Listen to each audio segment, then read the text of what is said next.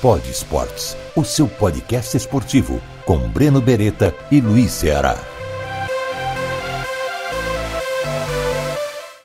O Pod Esportes é um oferecimento do Café da Serra da Canastra, café gourmet 100% arábica. Peça já pelo site cafedaserradacanastra.com.br. E agora, o Pod Esportes já vai começar.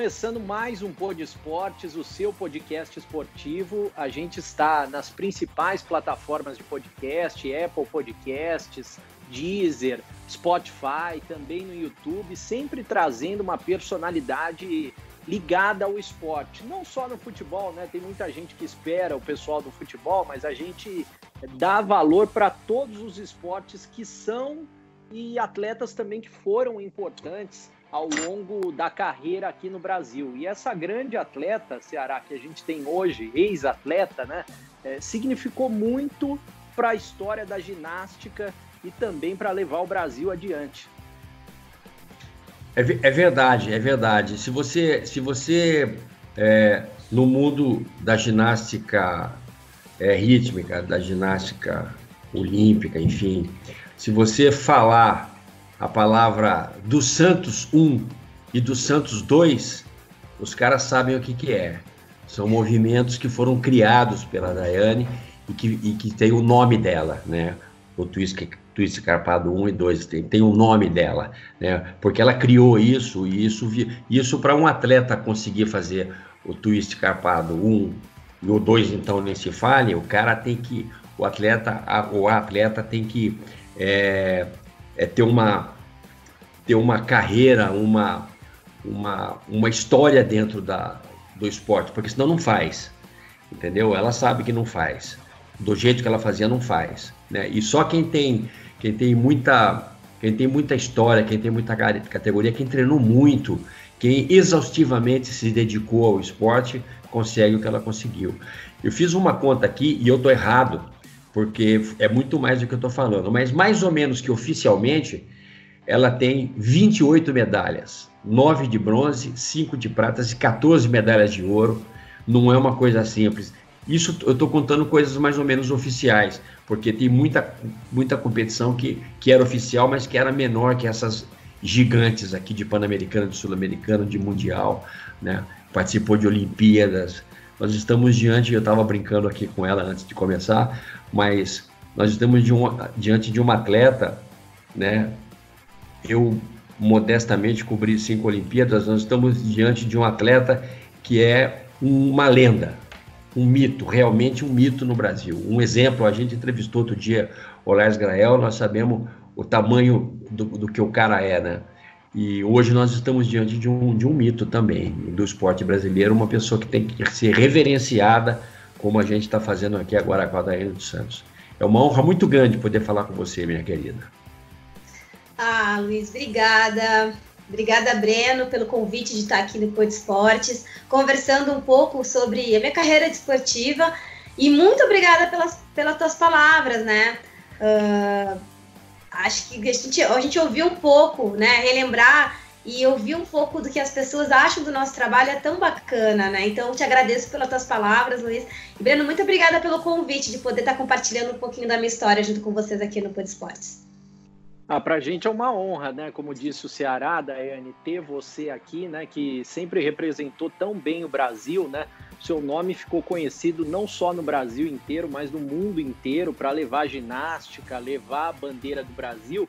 Aproveita e conta um pouquinho como é que foi o seu início, né, a sua infância, porque tem, tem muita gente, muitas crianças aí que vão para o vôlei, vão para o basquete, as meninas hoje em dia que estão começando mais a ir para o futebol, né? E para ginástica, mais na escola, esse tipo de coisa. Como que foi com você até você se tornar atleta? Bom, vou dividir um pouco aqui com os amigos que estão nos acompanhando na entrevista. Uh, o meu começo com a ginástica ele foi um pouco inusitado, ele foi um pouco diferente do convencional. Eu comecei tarde para o esporte. A ginástica é um esporte muito precoce, né? Ele começa muito cedo, normalmente entre 4 e 5 anos no Brasil, a gente já tem o início esportivo com a ginástica, e eu comecei aos 11 anos. Eu sou de Porto Alegre, eu sou gaúcha, e a minha descoberta para o esporte veio através de um olhar e uma professora que dava aula de ginástica olímpica naquela época, hoje a gente mudou a nomenclatura desse esporte, a ginástica artística. Uh, dava aula numa, na escola onde eu estudava. Essa escola era uma escola pública de ensino integral, né? Aqui em São Paulo chama CEL, né? Que é Centro Educacional Integrado Unificado, né? E lá em Porto Alegre se chamava CIEP. Então essas escolas de manhã elas tinham um ensino tradicional, né? Das, e à tarde tinham aulas de cultura, de esporte. E depois da aula eu tava lá fazendo umas peripécias, né? na pracinha e essa professora Cleusa de Paula me viu e me fez um convite muito especial para fazer um esporte diferente, como tu citou agora, o vôlei, né? Uh, alguns esportes coletivos eram, que eram mais tradicionais e hoje tem entrada realmente mais facilitada às vezes, uh, me fez um convite para esse esporte diferente que era ginástica olímpica na época. Que até então eu não conhecia, já tinha visto ali na escola, mas eu não sabia que esporte era aquele. E eu fiquei super interessada, conversei com os meus pais e eles me autorizaram, desde que eu continuasse tirando boas notas da escola, frequentando as aulas normalmente, me autorizaram e aí, a partir daí, começou a minha carreira esportiva que durou 18 anos. Legal. O, eu sabe o que eu queria?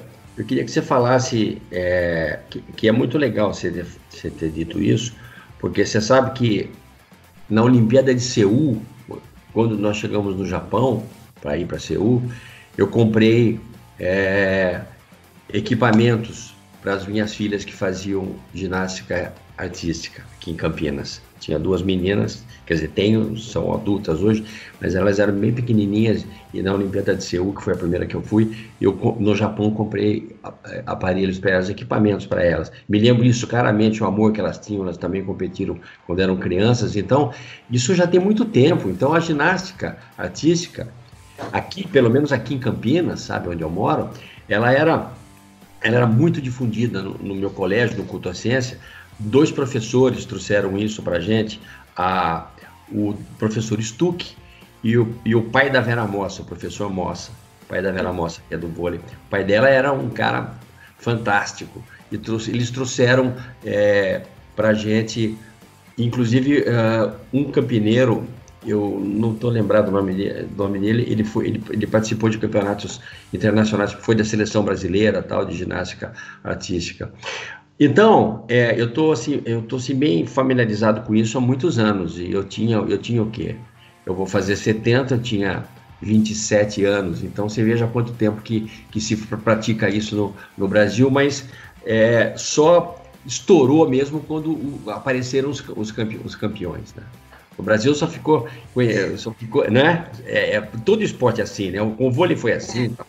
E eu, e eu queria saber uma coisa particular. Eu falei dos professores, porque eu sei que tem um professor que foi um cara que foi fundamental para você, que foi o Oleg Ostapenko, né? É, uhum. Queria que você falasse um pouco dele, porque muito pouca gente conhece o, o trabalho dele, né? O que, quem é esse cara? Isso que a gente queria saber. Ai, que prazer que eu tenho de falar, Ceará, sobre o Oleg. Uh, o Oleg, ele foi, acho que, um, uma pessoa que Deus trouxe para abençoar ainda mais a ginástica brasileira. Ele foi um divisor de águas no trabalho da ginástica no Brasil. A vinda do Oleg se deu em 2001, quando ele veio para o Brasil, para trazer um trabalho diferente. Até 2001, a seleção brasileira de ginástica treinava separado. Cada menina treinava no seu clube e o Oleg, quando ele chegou no Brasil, ele, ele, ele, trouxe um método diferente que ele já aplicava na Ucrânia e nos países que ele tinha trabalhado como treinador. E, e assim, o currículo dele é extenso, né? Multicampeão olímpico de várias de várias ginastas. Aqui, se eu fosse citar, ia ficar até amanhã citando todas as campeãs que ele teve. Então ele trouxe esse trabalho em 2001 para o Brasil. E esse trabalho era uma seleção permanente que residiu em Curitiba. E eu tive a oportunidade de poder aprender junto com o Leg, um treinador muito exigente, né? Com um senso estratégico extremo no trabalho que ele faz e, e muito dedicado à equipe também, generoso em dividir o aprendizado dele com todos que faziam parte né, do convívio dele ali. Poucas pessoas sabem uh, o outro lado do Oleg. As pessoas viam ele muito sisudo às vezes, né? Nas competições. Uh, a gente tem que lembrar que ali estava a responsabilidade dele, uh, a responsabilidade dele da seleção estava completamente nas mãos dele, né? do planejamento, da, do, da questão estratégica, de como aplicar cada ginasta dentro da competição para a gente ter o melhor resultado possível. Então, por isso, às vezes, né, uma tensão no olhar dele. Mas ele era de um carinho, assim, eu acho que ele aprendeu muito isso com a gente aqui no Brasil, né? A ser afetuoso, carinhoso, uh, gosta muito do Brasil, assim, eu tive o prazer de poder trabalhar com o Leg e ele foi um treinador que me lapidou como atleta, eu falo. Muitas pessoas às vezes falam, me confundem e acham que a minha carreira começou com o Oleg como atleta. Minha carreira esportiva começou antes da vinda dele. Mas a vinda dele para o Brasil me beneficiou, assim como toda a seleção, né? Ele me lapidou, ele fez com que eu melhorasse ainda mais a minha ginástica, melhorasse em qualidade técnica e, claro, aprendesse, aprendesse também exercícios novos, né? Como o duplo twist carpado, que foi uma invenção do Oleg, que eu executei, né? E depois a gente evoluiu ainda mais com o duplo esticado e, outros, e outras acrobacias que vieram elaborar dentro da, dentro da, da série. Mas todo essa, esse resultado que a gente começou a ter a partir de 2001 ali é muito voltado para o trabalho que a gente começou a fazer lá na seleção permanente em 2002 junto com ele. Então, assim, a vinda dele para o Brasil, ela, ela realmente trouxe um olhar diferente não só pelos resultados, mas até por conta do trabalho que ele trouxe aqui, que encaixou super bem com o trabalho que já era executado pelos treinadores brasileiros. Então ele foi um, foi um trabalho construído, né, uh, aí uh, entre essa fusão estrangeiro, né, com a equipe ucraniana do Oleg, com os brasileiros também. E claro, né, com o comando dele, um gênio, né, dentro dentro da ginástica artística, um nome super renomado, Uh, tem uma grande bagagem técnica, né? Não só olímpica, mas mundial. Foi treinador da União Soviética. Então, é uma pessoa incrível, assim, incrível mesmo. Eu queria poder ficar mais tempo com ele, aprendendo um pouco mais dessa sabedoria dele como treinador e como pessoa também. Ô Daiane, é, ao longo da sua carreira, eu imagino que você, até você se tornar um atleta top de ponta, né? Quando você se tornou profissional, imagino que você teve várias dificuldades nesse percurso aí de, de vários sentidos. Eu até cobrindo em algumas regiões, fora de Campinas também, lá na região de Araraquara, tem muita gente boa, no sul de Minas também tem muita gente boa de atletismo, de ginástica, só que muitos acabam não chegando no seu nível por conta justamente das dificuldades, né? É, eu acho a gente tem muitas barreiras, né, Breno? Eu acho que a primeira barreira que a gente tem, às vezes, na inserção do esporte é a oportunidade. A oportunidade que se dá de igualdade, de, de mais pessoas poderem vir a praticar esportes diferentes como a ginástica, né? Fiquei muito contente de saber que as filhas do Luiz fizeram ginástica, então foi pai de ginasta, né? Assim, e é muito bom a gente não que, que que eu não acho necessário que a gente tenha esportes coletivos, mas o esporte individual, às vezes a gente tem realmente ali uh, uma entrada no esporte mais dificultada por conta dessa oportunidade. Né? O esporte individual ele acaba se tornando mais caro que o esporte coletivo. Por exemplo, a ginástica ela precisa de um local adequado, como um ginásio fechado, né? equipamentos, pelo menos uh, o mínimo para você conseguir dar essa iniciação dentro do esporte. Então, tudo isso dificulta. A gente também tem as questões de, de região. Eu acho que aqui em São Paulo, o, a, o estado em si, ele investe muito no esporte, de uma forma geral. E aí a gente tem uma entrada grande de atletas. Mas às vezes sustentar esses atletas dentro do esporte fica difícil, principalmente no momento da adolescência do atleta. A grande maioria dos atletas, eles vêm de origem mais humilde, né? Então a gente tem ali uma dificuldade principalmente financeira. Depois que se dá essa oportunidade, para se manter esse atleta financeiramente, às vezes fica difícil, né? A gente tem os custos das viagens, a gente tem os custos começando de passagem, né? Para o atleta poder ir até o local de treinamento. A gente tem a compra de materiais, às vezes de uniforme que precisa comprar, as passagens, hospedagem, porque ainda a gente tem uh, uma dificuldade grande de manter os atletas, principalmente pela questão financeira. Então, tudo isso dificulta essa permanência de, dos atletas dentro do esporte. E a gente acaba perdendo muito diamante. Eu falo que são diamantes brutos, né? Às vezes, que só precisam ser descobertos para ser lapidados ali e conseguir realmente fazer brilhar esse talento de uma forma onde todos consigam, consigam ver. Então, acho que a gente tem algumas questões que ainda dificultam essa permanência e essa entrada de, de atletas para multi modalidades, né? Principalmente dentro do esporte individual. Eu sinto, eu sinto essa falta ainda. Melhorou bastante com a entrada hoje das, da, das leis de incentivo ao esporte, né? Que de alguma forma tem colaborado com a permanência e entrada dos atletas, mas a gente ainda precisa de mais, né? Ah, e você ah, passou por muito disso, Daiane? Olha, passei. Eu acho que poucos atletas que vocês vão conversar uh, não tenham passado por alguma dificuldade. Dificuldade financeira, assim, minha mãe e meu pai fizeram vários empréstimos para me manter dentro da ginástica, para ajudar a comprar os colãs mesmo, que, que, eram muito caros, né? A gente muitas vezes os colãs dentro do clube você comprava passagem. Quantas vezes o meu clube, né, a União, que foi o clube que eu comecei, não fez galeto? Os pais, né, fazendo galeto ali para conseguir arrecadar os valores para a gente conseguir viajar porque para o clube mesmo também ficava caro, né? Imagina, nós éramos uma equipe de 20 meninas. Como que você consegue arcar com tudo isso? Hoje está mais fácil por conta da lei de incentivo.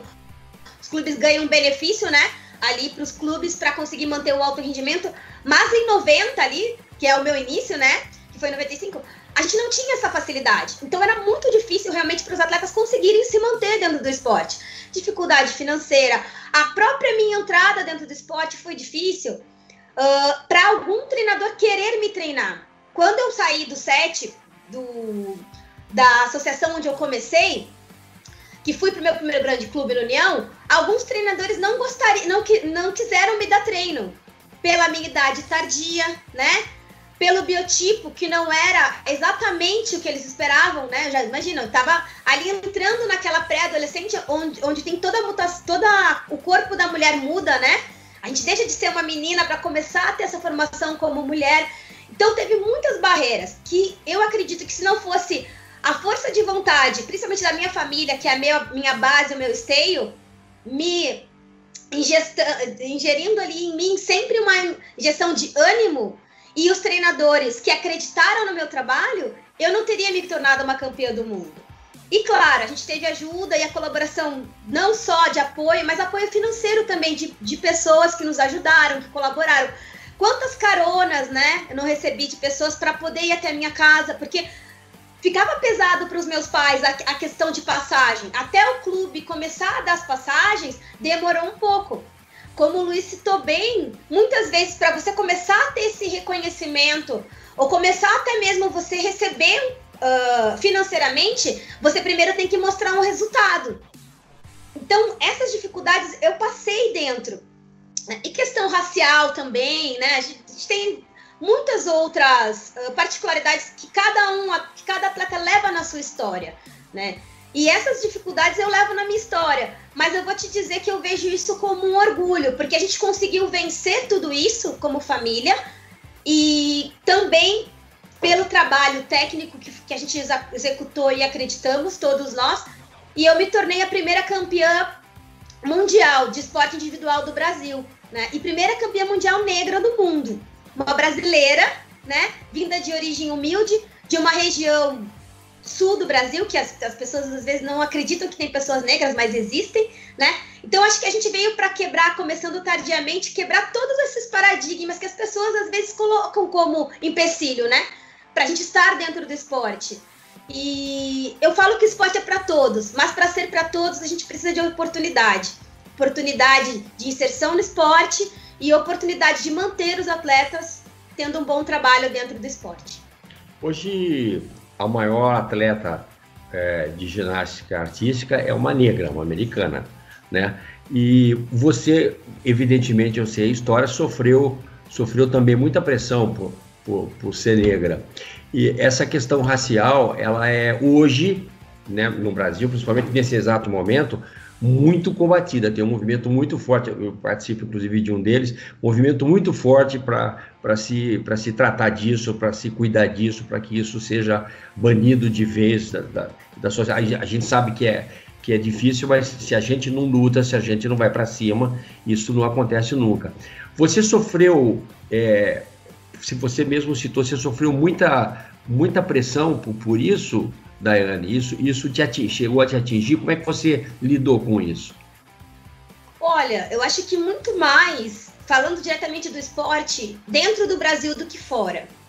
Uh, a, a, o próprio reconhecimento dentro do esporte, ele demorou um pouco mais no Brasil do que lá fora.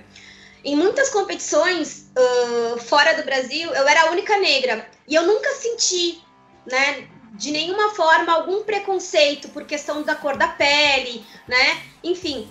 Mas no Brasil uh, era diferente até então, né? Quantas vezes eu não ouvi no começo da minha carreira, ah, por que, que você não faz atletismo, né? Em vez de fazer ginástica. Eu acho que você não tem bem o tipo de, de ginasta. E eu falei, não, eu não quero ser, eu gosto muito de atletismo, mas eu quero ser uma ginasta, né? Então tem essas questões que às vezes eu acho que no Brasil elas são obscuras. A gente, a gente não trata às vezes como preconceito e muitas pessoas não veem como preconceito, né?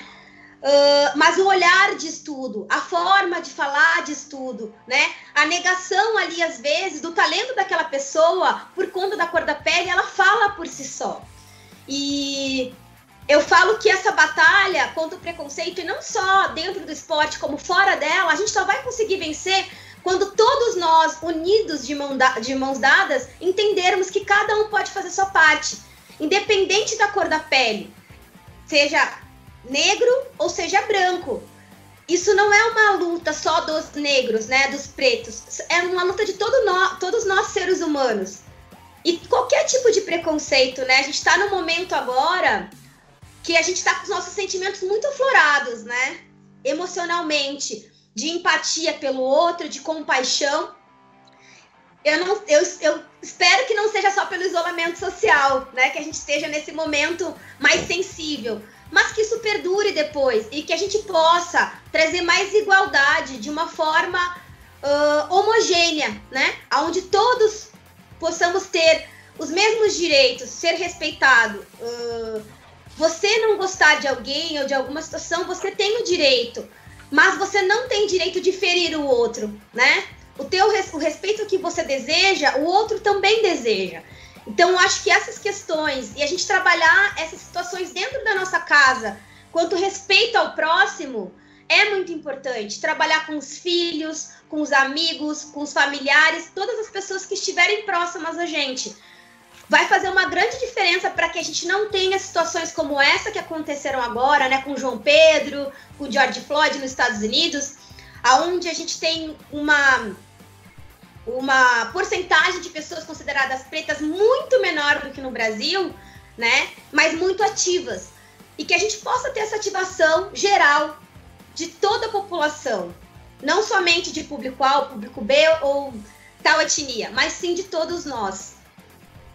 E a gente vê até atletas de fora do país também, como o Lewis Hamilton, que está sempre aí é, ativo nessa questão, né? E você falou do Brasil, que, que é um país muito preconceituoso.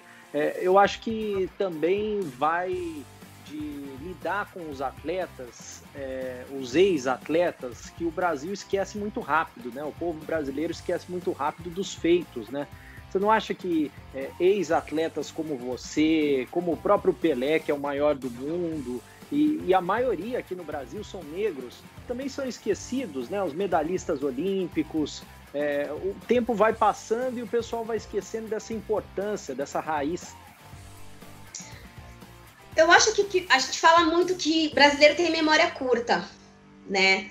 Mas eu acho que trabalhos como o que vocês estão fazendo fazem uma diferença incrível para as pessoas entenderem a história do esporte do Brasil. Uh, se a gente for contar a ginástica, ela não começou agora em 2016, né? Ela tem mais de 100 anos de é. trabalho. Então a gente precisa entender a história, a nossa história. Uh, da onde veio esses resultados? Quem criou esses resultados? Como foi fundado? Se a gente for falar com os atletas que fazem o esporte, muitos não conhecem atletas que foram bases estruturais para esse esporte. E eu não estou nem dizendo de cor de pele, volto a ressaltar. Estou falando de, da história, que é importante. Se a, gente, se, se a gente for ver nos outros países, as pessoas elas têm um apreço tão grande pela história, né? E no Brasil a gente não tem esse apreço muitas vezes. A gente, a gente simplesmente enaltece o momentâneo, o que está naquele momento ali. E, e para a gente criar um novo ídolo, a gente acaba esquecendo do que, dos, dos ídolos que se passaram lá atrás. E que se hoje a gente tem uma nova geração, essa nova geração existe porque tiveram outros que abriram as portas. E a gente não pode esquecer do know-how dessas pessoas, das histórias dessas pessoas, que venha colaborar com o crescimento do esporte. Uh, o que eu fico. Uh, acho que sinto a dor de. Comigo, eu, eu, eu sinto que dentro do esporte acontece muito latente, assim, esse reconhecimento das pessoas. Eu sinto isso direto, sabe? Mas às vezes a nossa instituição não faz isso por nós. Né? E quando eu faço a, falo a nossa instituição, eu falo o próprio Comitê Olímpico Brasileiro, o, as confederações, as federações. E eu não estou falando de um esporte, eu estou falando de todos. Quantos ícones esportivos nós temos? Quantos ícones desses, desses esportes são utilizados dentro da base do esporte para a formação de novos atletas? Como exemplo, nós temos exemplos dentro do nosso país. Por que não fortalecer esses exemplos? A gente falou de coisas que em 90 nós vivenciamos e hoje muitos esportes não vivenciam mais. Essa experiência que nós tivemos em 90, ela serve como estímulo, eu acredito, para a nova geração entender como hoje para eles é mais. Uh, não, não sei se mais fácil, né? Mas que hoje eles não vão passar por situações que nós passamos lá atrás, que acabaram nos impedindo, talvez, de ter resultados até melhores do que nós tivemos. Isso é importante ser passado para ter uma valorização do que nós temos hoje, né? Então, uh, eu fico realmente sentida que o Brasil não tem aprendido com alguns países, porque a maioria dos países utilizam seus ex-atletas nas suas bases de, de, de, treinamento, de esporte, de confederação e de federação, para passar o que eles passaram lá atrás para a nova geração. E para a geração valorizar o que já foi feito por esses esportes. Você, você vê, a gente vê, você está falando uma coisa real. A gente vê muito pouco, pouco ex-atleta é, de, de, de, muita categoria que, que, poderia passar. Às vezes, um ex-atleta que não foi campeão, mas ele virou um craque de, de, de, treinamento, de, de concepção, de, de ter inteligência para de olhar, de ter o olhar para enxergar aquilo que você falou aí, enxergar o, aquela criança que vai né? Esse olhar que vai aquela criança ali vai dar certo. Vamos investir ali. É, a gente, a gente é, é, peca muito no Brasil, peca muito o que não acontece nos outros países. Aqui, esse é um pecado mortal. E, e, e baseado nisso que você está falando aí, eu, é, porque você passou realmente por, por, Você teve um grande treinador, que é o Oleg, mas você passou por um perrengue muito grande, porque essa pressão, né, que eu imagino que eu queria que você falasse agora, essa pressão que o atleta tem por ser. É, você era uma atleta de quem se esperava muito, uhum. mas nós tínhamos outros atletas também e esperávamos muito deles nas competições. Como é que funciona essa pressão, né? Como é que funciona esse momento em que um, um, atleta que e, e tem uma competição individual você não é uma competição coletiva. Você, você, não, você, você quando estava na frente do, do cavalo ou na frente de, de uma. Você, você era sozinha. Uhum. Você absolutamente nada. Né? O que é esse momento? Bom, a ginástica, por ser um esporte individual, e a gente, a gente faz as apresentações uh, uma por vez, né? Ali. Por mais que tenhamos competição por equipe, por exemplo, o resultado da classificação olímpica, ela vem muito através da equipe, né? Do resultado da equipe, aonde soma-se a nota de cada ginasta. Mas cada ginasta apresenta sozinha a sua série. Não posso dizer que não existe uma pressão, né, ali. Mas eu acredito que a pressão interna é muito maior do que a externa. E vai muito de como a gente vê essa pressão também. A gente pode ver negativamente como um ato de estão me cobrando, estão me exigindo, né? Isso, ou a gente pode ver de uma forma positiva, aonde a gente entende que as pessoas elas estão ali uh, apoiando, incentivando, né? E por isso essa aposta tão grande. Eu acredito que muitas vezes a gente sente isso muito forte aqui no Brasil, porque a gente tem, é, é, muito carente ainda de ídolos, né? Entre aspas, desculpa a expressão, não gosto muito de usar esse exemplo, mas uh, de resultados ainda. Então, às vezes, uh, e a gente, se, a gente se apega muito àquela pessoa que, tá que está nos representando naquele momento, né? E aí todas as fichas estão apostadas ali. E e realmente, se o atleta vê de uma forma negativa, isso acaba interferindo muito na carreira dele. Mas eu acredito que se a pessoa vê de forma positiva, isso te dá um estímulo a você querer melhorar cada vez mais. Eu sempre procurei ver de forma positiva, né, como um incentivo das pessoas e também um incentivo a mim mesmo a querer melhorar cada vez mais. Claro que a gente sabe que esporte ele não tem uma definição concreta do que vai acontecer, né? Em cada competição. Não sabe, não é porque a gente é favorito que a gente já é o campeão, né? A gente precisa realmente deixar a competição acontecer e só no término de toda a competição a gente vai saber realmente quem ganhou, quem não ganhou.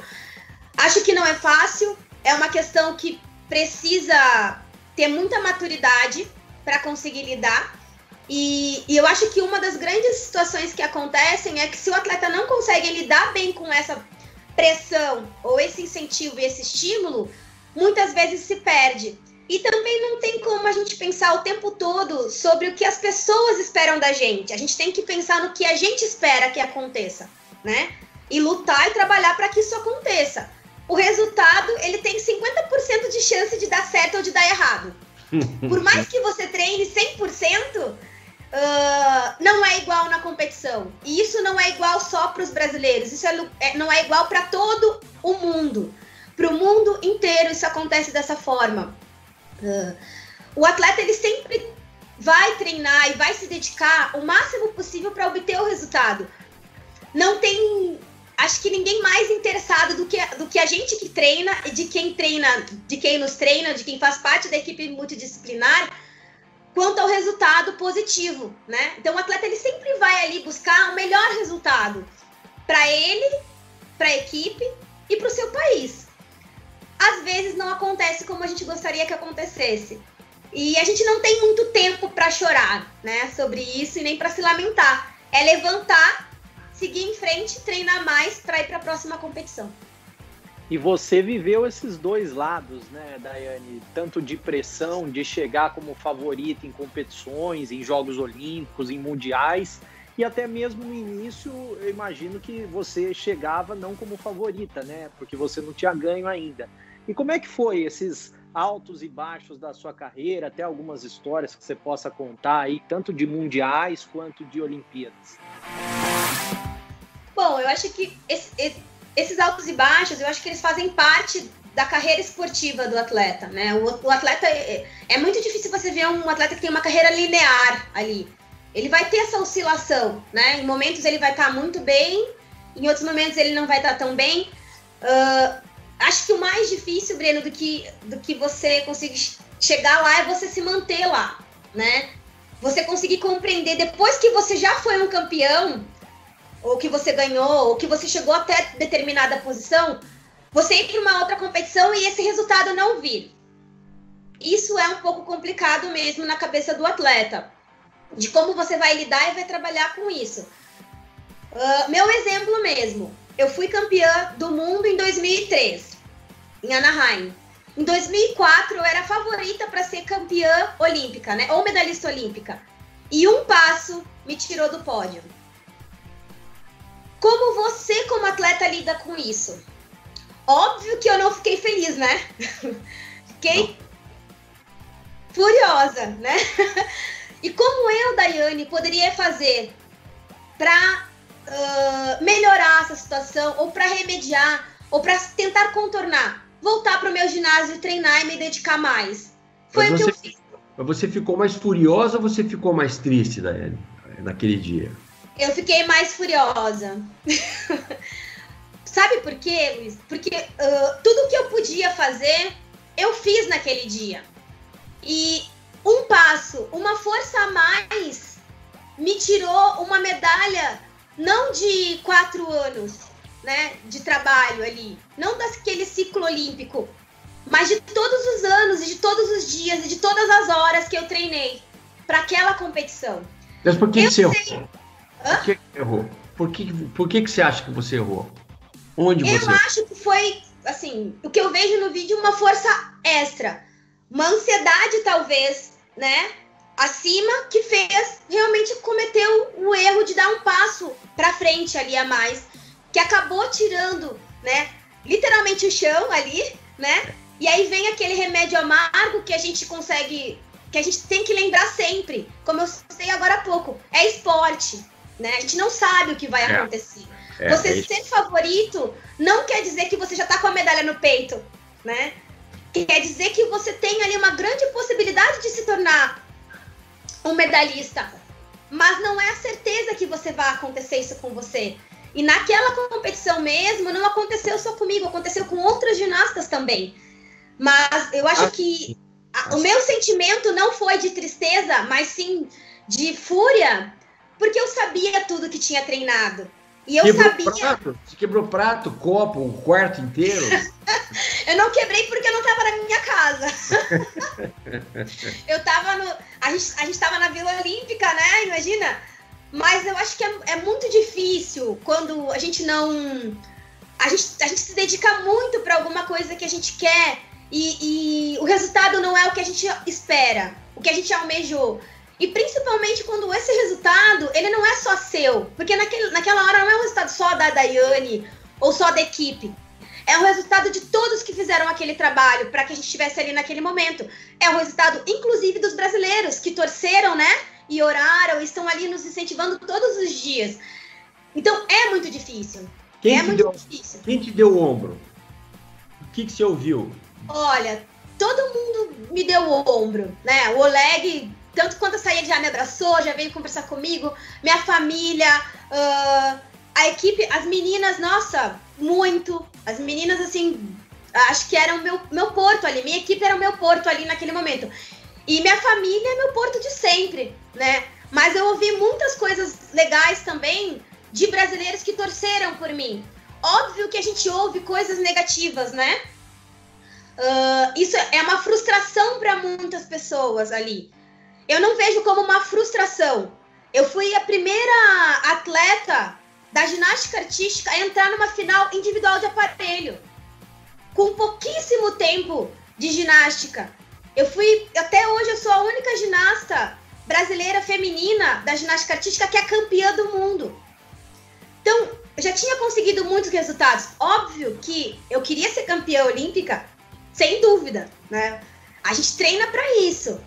Ter, ser medalhista olímpica, a gente treina para isso. Mas, infelizmente, são coisas que acontecem. E a única coisa que a gente pode fazer é voltar para o nosso ginásio e continuar treinando para a próxima competição. E o que, que, que você teve de especial nesse momento de ser campeã mundial que você guarda até hoje e também dos ouros em mundiais que você ganhou? Eu, eu guardo, acho que a sensação que eu não consigo nem descrever, Breno, direito muito bem como foi, assim. Uh, eu acho que é tudo o reverso do que eu citei agora. É a gente sentir aquela sensação de dever cumprido, né? No, na totalidade, assim, aonde você conseguiu uh, retribuir para as pessoas e para você mesmo o trabalho que foi desempenhado ali naquele momento. É onde você lembra de tudo que você passou lá atrás. Os momentos de falta de dinheiro, os momentos de dúvidas de muitas pessoas, de pessoas que não acreditaram no seu trabalho e de principalmente de pessoas que acreditaram no seu trabalho e que fizeram com que você hoje estivesse naquele lugar mais alto do pódio. É um sentimento de um país como o Brasil, que muitas vezes é citado como um país de terceiro mundo, né? Que algumas pessoas colocam em posição de inferioridade, mostrar que o Brasil tem força sim, tem trabalho duro sim, e que sabe sim fazer campeões. Eu acho que esse sentimento vem naquela hora, sentimento de gratidão por todas as pessoas que estavam ali comigo naquele momento. Quando a gente ganha um resultado, ou quando a gente perde um resultado, ele nunca é sozinho. Ele sempre é um resultado de um grupo de pessoas. A, gente, a ginástica é conhecida como esporte individual, e realmente é, porque a gente apresenta a série sozinho. Mas ela não foi construída sozinha. Ela foi construída por muitas pessoas.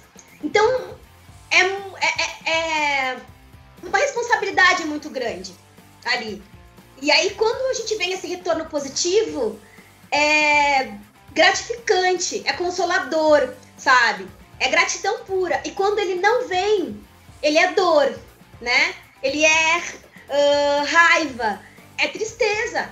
Porque não é só você ali, são muitas outras pessoas.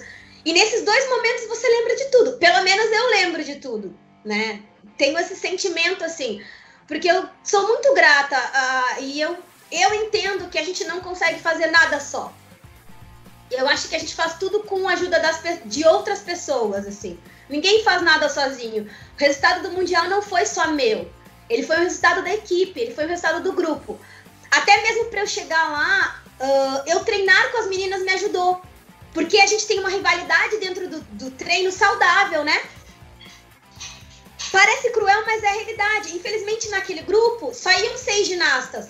Pra eu estar tá ali, alguém não foi, né? E essa pessoa que não foi, ela me ajudou a eu conseguir ter um ótimo desempenho, porque eu tive que treinar muito duro para ganhar dela ali, para ganhar o meu lugar. Então eu também devo isso a ela, esse resultado a ela e a todos que fizeram parte ali. Treinadores, nutricionista, fisioterapeuta, toda a equipe multidisciplinar que a gente fala hoje, né, ali, aos pais, a família que dá estrutura emocional, que tá ali no momento, na alegria, na tristeza, na saúde, na doença, né, família técnica ou, ou família sanguínea ali, as pessoas que, to que torcem pela gente, esperam esse resultado e que entendem também quando esse resultado não vem, né, então, é, é muitos sentimentos que a gente eu tentei descrever para vocês o que eu senti naquele momento ali do, do Mundial. Não tem como você descrever em palavras. Eu falo que é uma sensação que a gente não descreve, que a gente só sente. Eu, pelo menos, joguei um copo no chão quando você deu aquele. joguei, um, joguei um copo no chão, fui na, cozinha, chutei panela, chutei o que tinha para chutar, eu chutei. Bom, dito isso, eu quero dizer o seguinte: é que a gente torcia demais para você, torce ainda. É você ganhou nove ouros em campeonatos do mundo, uma prata, quatro bronzes, um bronze nas barras assimétricas e três no, e três no solo. Você, em Copa do Mundo, quanto disputou, não tinha para ninguém. Um negócio assim totalmente absurdo, né? Então eu queria que você falasse um pouco, porque você ganhou nove ouros.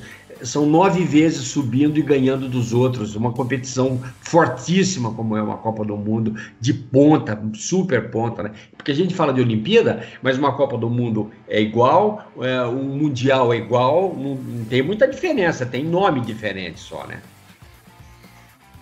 Eu acho que as pessoas não só as pessoas, acho que os atletas também valorizam muito os Jogos Olímpicos porque é a competição que acontece só de quatro em quatro anos, né? É, é a competição mais importante que a gente tem no cenário olímpico, que a gente possa ter, né? É como a Copa do Mundo no futebol, né? uh, então a gente tem realmente esse peso muito grande. Mas eu ter sido nove vezes campeã das etapas de Copa do Mundo, de grande final, eu fui, durante três anos, eu fui a melhor do mundo do ranking do solo. Isso é tão legal, isso é tão importante de, de, de, poder falar, sabe? Esse resultado ele é tão grandioso, e eu digo grandioso quanto o resultado brasileiro mesmo. Porque até então, o, o, até esses resultados, e não só meu, da Dani, né, daquela geração ali, a gente não tinha esses resultados tão expressivos.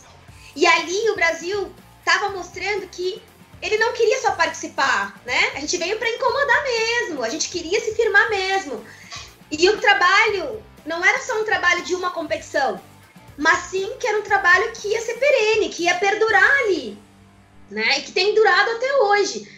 Então é muito uh, bacana eu poder ver hoje que durante nove vezes eu fui campeã, o Brasil foi campeão, né? Foi o melhor do mundo ali. Teve à frente de, de países que a gente tem situações, às vezes, de treinamento, enfim, melhores do que a nossa. Naquele momento, a gente estava com uma, com uma seleção muito boa e com, e com equipamento, com equipe muito boa. E eu acho que era o que precisava para a gente conseguir ter esses resultados, né? De Copa do Mundo, de Mundial, de Jogos Olímpicos, que a gente tem hoje três medalhistas olímpicos no Brasil, né?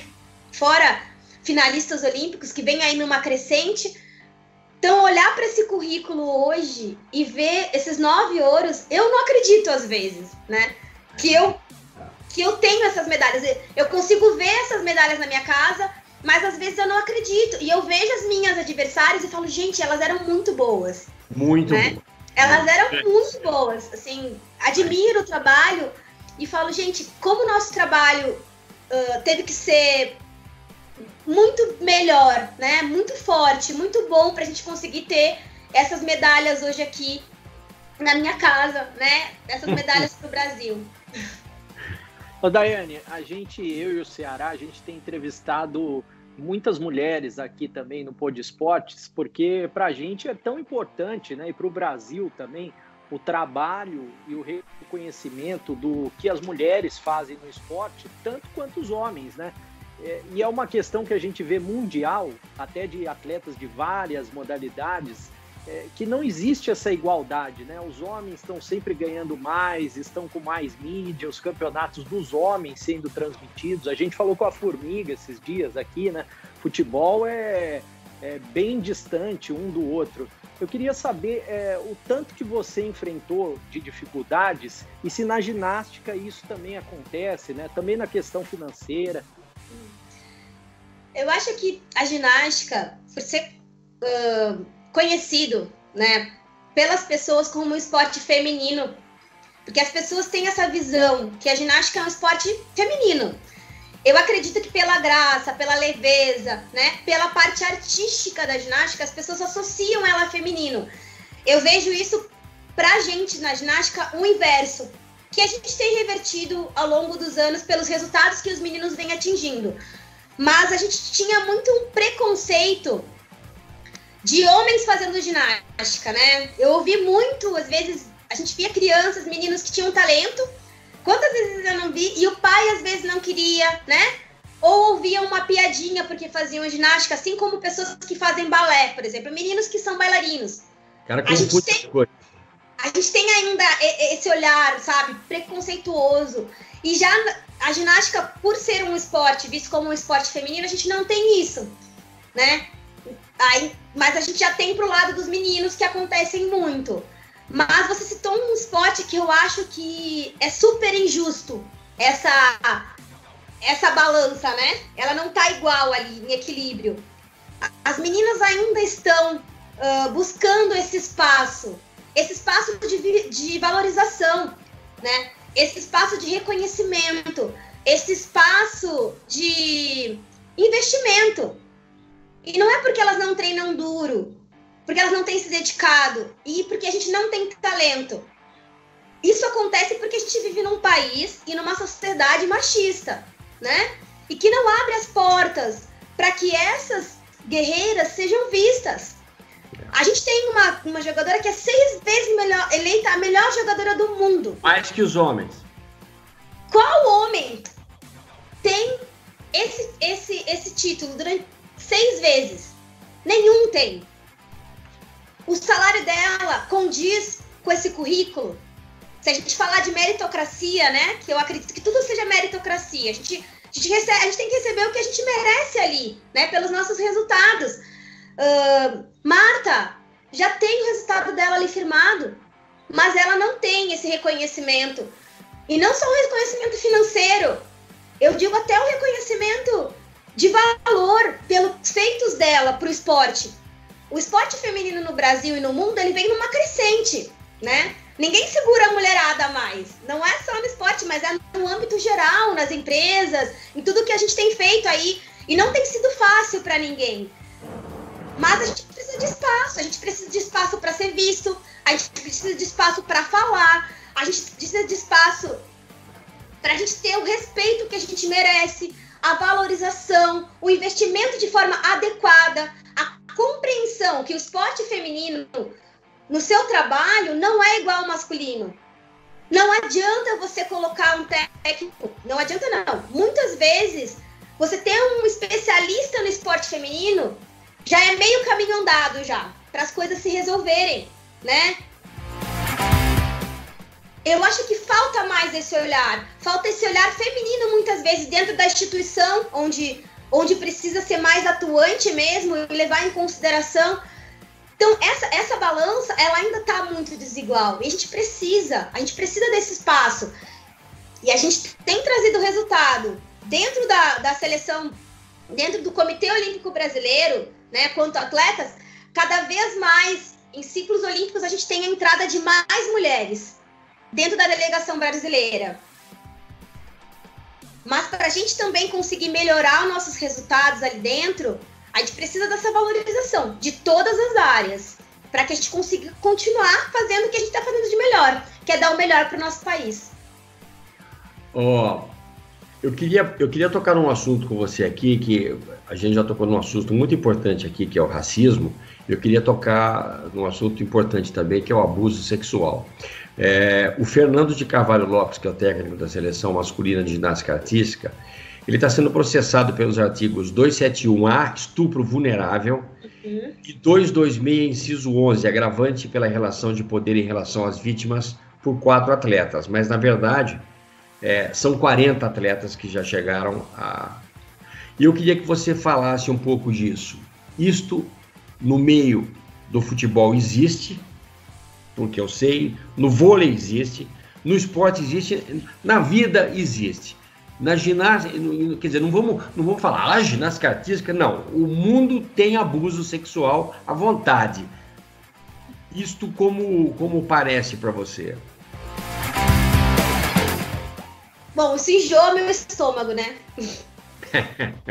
Porque eu, como você citou, Sarah, isso não é uma questão do esporte, isso é uma questão do mundo a, a, a, questão do, do que aconteceu com o Fernando, que é uma traição, né?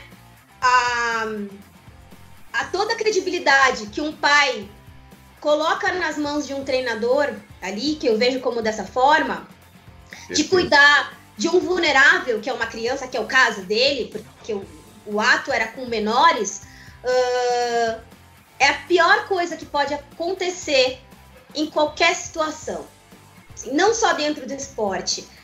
E quando muitos pais vieram me buscar para a gente conversar sobre isso, e de, eu tenho um projeto social hoje, eu falo muito com as crianças sobre isso, né? Falo, os professores falam sobre essas questões e procuro tomar cuidado em quem eu venho buscar para o meu projeto por conta dessas preocupações que a gente tem que ter quando a gente vai contratar alguém, é que essas situações acontecem em todo lugar, dentro das nossas casas, dentro da escola, no caminho, dentro do esporte, e a gente precisa estar atento.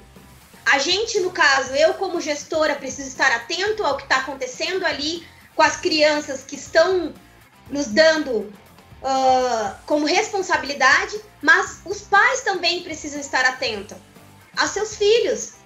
A criança que é responsabilidade daquele responsável, que às vezes não é o pai, é o tio, é a avó, enfim, para olhar para essa criança e ver que alguma coisa tem de diferente nessa criança.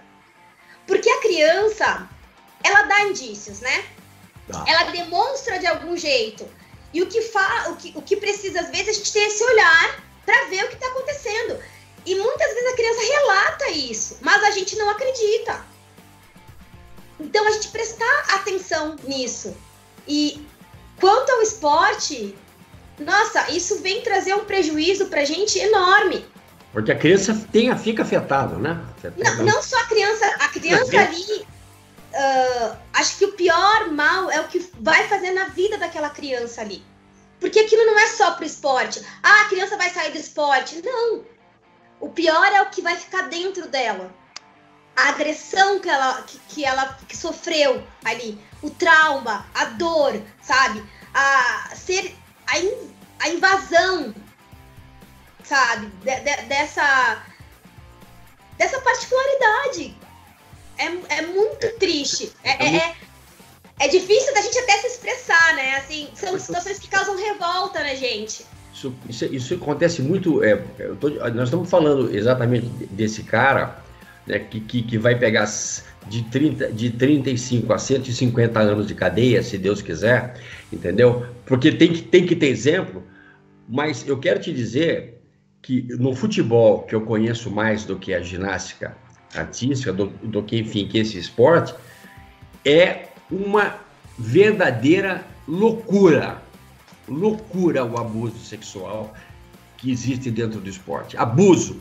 Abuso de treinador com jogador, abuso de dirigente com jogador, abuso de jogador e jogadora, abuso de, de, de, de, de é, empresários abuso moral, abuso sexual. Esse povo, é isso que é uma.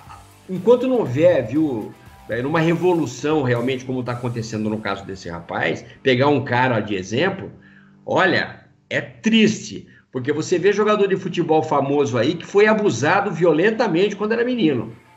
Eu conheço 10 casos de cara famoso, não vou falar nome, não vem ao caso, mas de caras que foram abusados.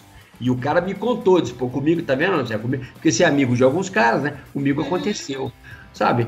Ô, Dayana, deixa eu te falar, eu eu tô muito feliz de ter falado com você. Eu queria só, de última, de última é, na minha última participação, ter conversado desse assunto com você, porque eu sei que é muito delicado e se podia ter falado, olha, Sarah, melhor não quero falar sobre isso, mas você foi generosa e claramente falou. Então eu queria te agradecer da minha parte muito, do, do fundo do meu coração.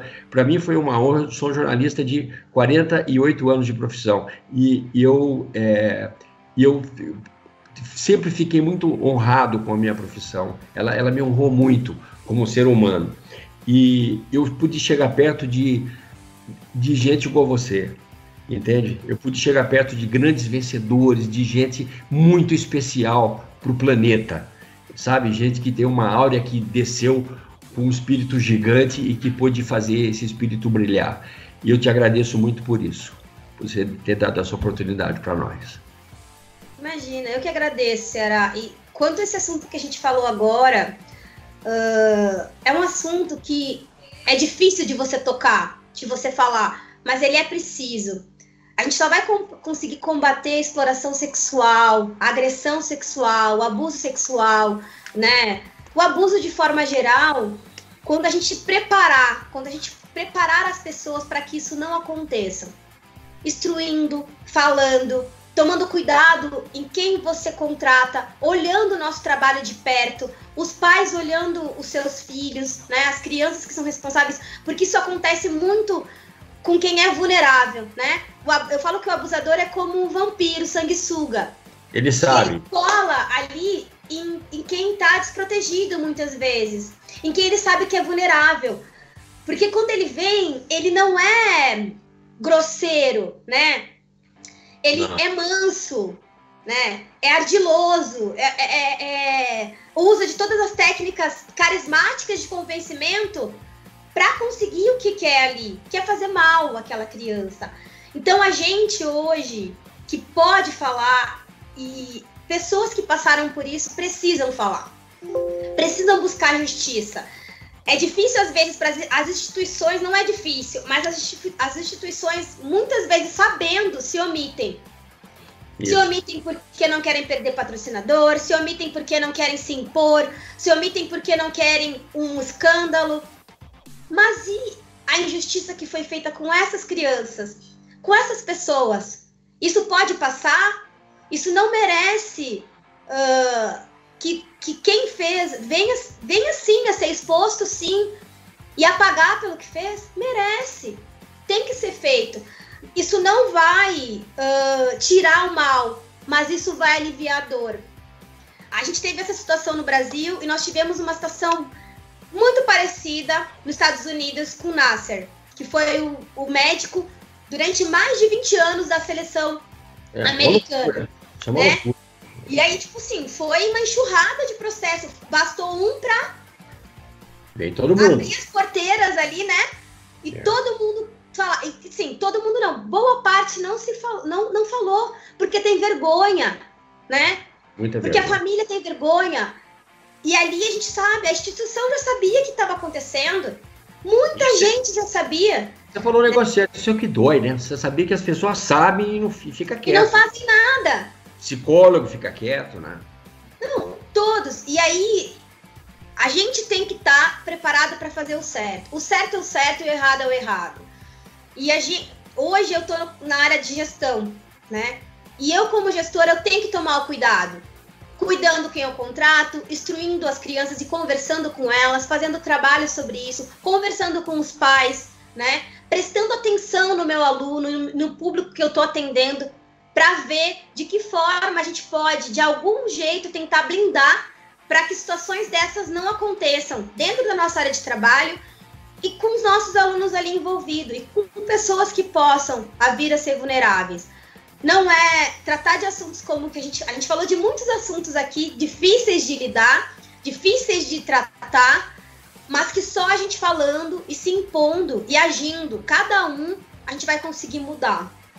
Então, eu agradeço imensamente vocês por vocês terem me convidado para a gente conversar, né, uh, no Esportes sobre esses assuntos. Não só sobre a minha carreira, mas sobre essas questões que também fizeram parte ali, né, da minha carreira, porque a partir do momento que fazem parte do esporte e da vida dos atletas ou de pessoas que estão próximas da nossa vida ali, por mais que não tenha acontecido comigo, mas aconteceu com pessoas que eu conheço, e mesmo se não conhecesse, né? A gente tem que ter ali a empatia de se colocar no lugar.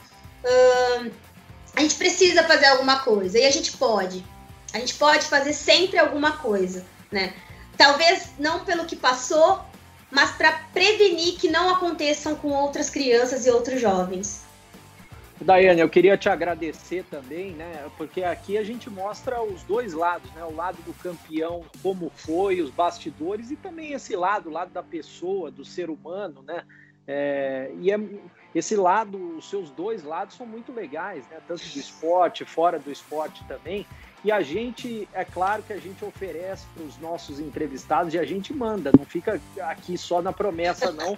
Um café da Serra da Canastra, que é o nosso patrocinador, né, Ceará? Olha! A Daiane gosta de café? Você gosta de café, Daiane?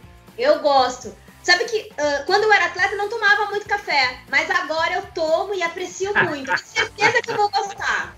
Olha que eu vou comprar. Vai... Se vocês não me mandarem, Ceará, eu vou ficar lá no, no Instagram cobrando de vocês. Pode, pode mandar que a gente manda. A gente manda o café e manda também uma caricatura que o caricação faz para você. E a canequinha. E a ah, caric... eu vou querer todos. Eu quero. Eu, eu, falo, eu vou querer tudo que eu tenho direito. Eu quero eu a caneca, eu quero a caricatura, eu quero café, eu quero tudo. Pode cobrar, pode cobrar que a gente vai mandar, sim. Muito bom, muito bom. Daiana, você, você é gigante. Legal, um beijo. Obrigada, muito obrigada, gente, pelo convite de vocês. Obrigada por esse canal aberto para os atletas poderem falar, para as pessoas, né, hoje envolvidas com esporte, pelo que eu vi de uma forma geral, vocês buscarem isso de uma forma uh, simples, né, e agradável, deixando a gente falar como a gente gostaria de falar sobre esse, todos os tipos de assunto. Obrigada mesmo, parabéns para vocês por esse super projeto que vocês estão levando à frente. E olha, não desliga ainda que tem os bastidores da entrevista aquele puta mar e ela andando em cima da água. Falava, pô, o que tá acontecendo? Essa baixinha aí é um monstro, rapaz. nós, estamos, nós estamos diante de um, de, um, de um mito, de uma lenda. Se os caras fossem se os caras fossem reverenciar a Daiane, o que ela fez na vida, que ela fez pelo país, pela ginástica. Ela, todo, ela, ela não andava no chão, andava em cima de tapete. Errei, Daiane. Tudo bom? Tudo bem, e você, querida? Tudo, Tudo bom, bem também. Ótimo. Obrigado, Luiz. Nossa, hein, pelas suas palavras. e nós nem começamos ainda a elogiar você. Brenão, quiser começar, vamos mandar bala. Vamos começar. Pod Esportes, o seu podcast esportivo com Breno Beretta e Luiz Ceará.